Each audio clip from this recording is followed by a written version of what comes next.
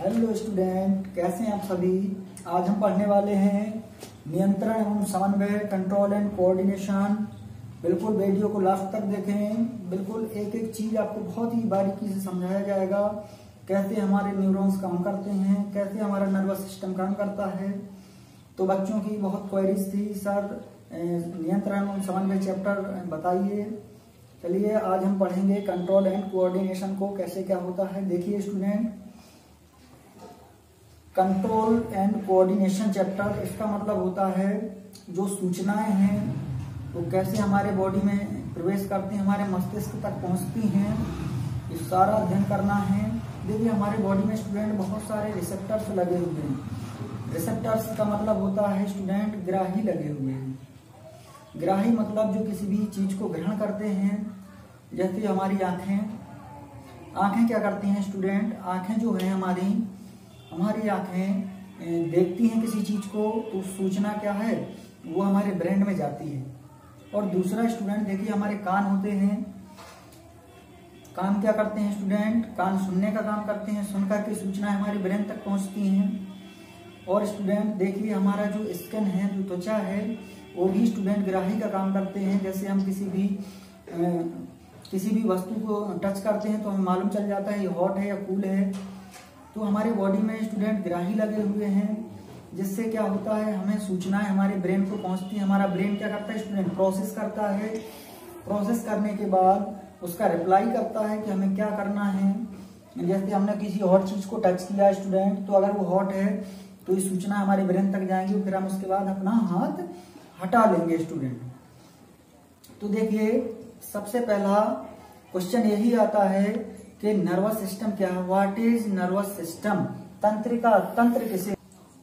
देखिए स्टूडेंट अब हमें मेन जो क्वेश्चन आता है कि व्हाट इज़ नर्वस सिस्टम तंत्रिका, तंत्र क्या है?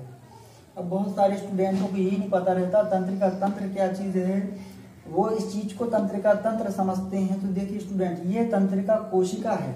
देख लीजिए स्टूडेंट ये जो आपको चित्र दिख रहा है, ये तंत्रिका तंत्र का चित्र है।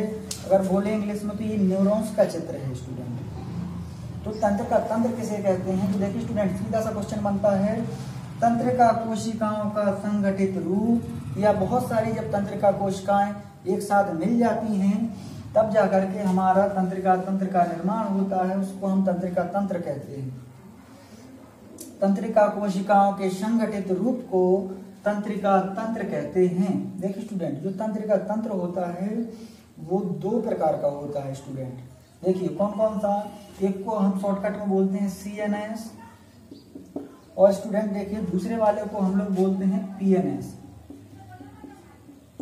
C N S और P N S C N S का मतलब होता है स्टूडेंट केंद्रीय तंत्रिका तंत्र। और पीएनएस का स्टूडेंट मतलब होता है परिधीय तंत्रिका तंत्र। अब स्टूडेंट बात आती है कि केंद्रीय तंत्र का तंत्र क्या होता है? देखिए स्टूडेंट केंद्रीय जो तंत्र का तंत्र होता है, वो हमारे सेंटर में पाया जाता है। वो हमारे बॉडी के बाहर वाले पार्टों में नहीं पाया जाता बॉडी के सेंटर वाले भागों में पाया जाता है। और ये स्टूडेंट दो होते हैं आपके केंद्रीय तंत्रिका तंत्र। कौन कौन से सेंटर में पाए चलिए देख लेते हैं फिगर में। एक तो है हमारा ब्रेन, जो कि बिल्कुल सेंटर में पाया जाता है। ब्रेन यानी मस्तिष्क। और स्टूडेंट, दूसरा क्या होता है, ये हमारा जो आपका रीढ़ का हड्डी देखा होगा स्टूडेंट, वो मेरू रज्जु बोलते हैं उसको। एक तो मेरू रज्जु होता है और होता है ब्रेन। तो ये दो प्रकार का होता है स्टूडेंट। एक आपका होता है ब्रेन और स्टूडेंट, दूसरा होता है मेरू रज्जु। मेरु रज्जु। और आपका जो परधीय तंत्र का तंत्र है स्टूडेंट अब ये कहाँ पे पाया जाता है? परधीय तंत्र का तंत्र हमारे बॉडी के परधी पार्टों पर पाया जाता है परधी परधी मतलब अगर हम यहाँ इसके बाहर वाले पार्टों की बात करें, जैसे हम टच किया, इसके ऊपर वाली जो स्किन है, इस तरफ़ पाया जाता है। यानी आपका केंद्रीय तंत्र का तंत्र से लगा हुआ परधीय तंत्र का तंत्र पाया जाता है। केंद्रीय मतलब मेरु रज्जु से देख, आप देख रहे होंगे, ये लाइनें पड़ी हुई हैं, ये आपकी बॉडी के प्रत्येक पार्ट तक जाती हैं। वो आपका परगी तंत्र का तंत्र स्टूडेंट कहलाता है। अब हम बात करेंगे कि तंत्र का कोशिकाएँ कैसी होती हैं और कैसे काम करती हैं, सूचनाओं को कैसे ले जाती हैं। तो चलिए देखते हैं आज हम तंत्र का कोशिका के बारे में न्यूरॉन्स के बारे में। तो देखिए न्यूरॉन्स की जो आप ये संरचना देख रहे हैं स्टूडेंट ये आपका न्यूरॉन्स की संरचना है स्टूडेंट देखिए न्यूरॉन्स की संरचना में यहाँ पर केंद्रक होता है स्टूडेंट देखिए, मैं आपको यहाँ पे लिख देता हूँ, केंद्रक. और स्टूडेंट जो आपको ये संरचनाएँ दिख रही हैं, इनको स्टूडेंट द्रुमिका कहते हैं। द्रुमिका। चलो, मैं लिखे देता हूँ इधर पर स्टूडेंट द्रुमिका बोलते हैं इसको। ये देखिए, लिख दिया द्रुमिका। तो देखिए इसको बोलते हैं केंद्र, जो आपका बीचों बीच पाया जाता है। और स्टूडेंट देखिए, जो ये आपको ऐसी संरचनाएँ दिख रही है, कुछ बालों जैसे निकले हुए, इसको हम लोग द्रुमिका बोलते हैं। और इसके बाद इसको हम लोग बोलते हैं कोशिका काय देखिए, ये जो आपको बॉडी दिख रही है ना, ये इसको बोलते हैं कोशिका काय देखो स्टूडेंट लिखे देता हूँ मैं। कोशिका काय जो आपको ये बॉडी दिख रही है, इतना पूरा स्थान दिख रहा है स्टूडेंट ये कोशिका काय है। कोशिका काय का मतलब होता है स्टूडेंट सेल बॉडी तो ये सेल की ये बॉडी है स्टूडेंट इस सेल बॉडी आप देखते हैं और समझते हैं इसका कार्य क्या है। देखिए स्टूडेंट सूचना सबसे पहले हमारी द्रुमिका में जाती है। द्रुमिका क्या करता है? सूचनाओं को ग्रहण करता है रिसेप्टर्स का काम करता है। तो सूचनाएँ फिर वहाँ से एक्सॉन देखिए स्टूडेंट जो ये आपको संरचना दिख रही है इसको हम एक्सॉन बोलते हैं या इसको बोलते हैं तंत्रिकाक्ष। इसको स्टूडेंट या तो एक्सॉन बोलते हैं या फिर तंत्रिकाक्ष बोलते हैं। तंत्रिकाक्ष के माध्यम से या एक्सॉन के माध्यम से सूचनाएँ आगे को बढ़ती हैं और सूचनाएँ पहुँच जाती हैं तंत्रिका कोशिका के अंतिम सिरे तक। यहाँ पर लिख देता हूँ कोशिका का अंतिम सिरा। ये किसी भी कोशिका का क्या है? कोशिका का अंतिम सिरा। अब कहीं ना कहीं अंतिम सिरा तो होगा ही स्टूडेंट कोशिका का अंतिम सिरा। तो सूचनाएँ कोशिका के अंतिम सिरा तक पहुँची अब कौन लेकर के जाता है स्टूडेंट इनको? देखिए स्टूडेंट इन सूचनाओं को जो आपका विद्युत आवेग होता है, हमारी बहुत बॉडी में बहुत सारी रासायनिक क्रियाएँ होती हैं। जब रासायनिक क्रियाएँ होती हैं तो विद्युत आवेग उत्पन्न हो जाता है।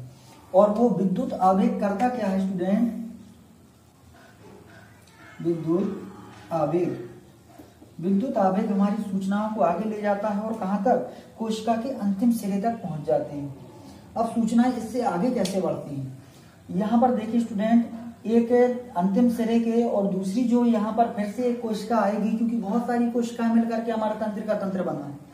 तो इसके बाद भी एक कोशिका आएगी तो उस कोशिका की द्रुमिका और कोशिका के अंतिम सिरे के बीच कुछ खाली स्थान या बोल सकते हैं, रिक्त स्थान पाया जाता है। अब यहाँ से क्वेश्चन आता है, कोशिका का अंतिम सिरा और नई कोशिका की द्रुमका के बीच जो खाली स्थान पाया जाता है, उसे क्या कहते हैं? ये क्वेश्चन एक दो बार आ चुका है बोर्ड एग्ज़ाम में स्टूडेंट तो उसको स्टूडेंट याद रखेंगे, उसको स्टूडेंट स्नेप्स कहा जाता है। स्नेप्स कहते हैं।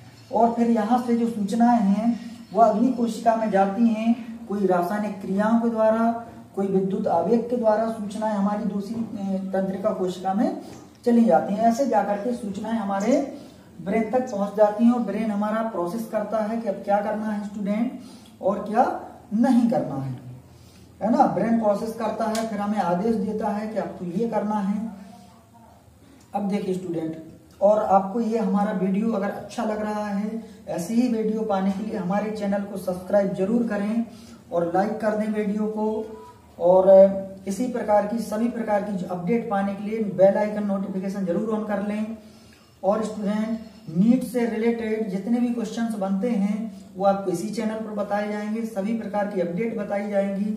बहुत सारे स्टूडेंट हैं जो साइंस पढ़ते हैं उनको अच्छा लगता है और डॉक्टरी लाइन में जाना चाहते हैं।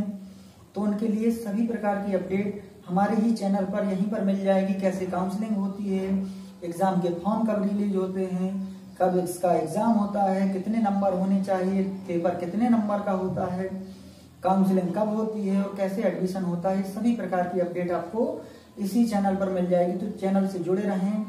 थैंक यू वंदे मातरम। इसी प्रकार की वीडियो पाने के लिए थैंक यू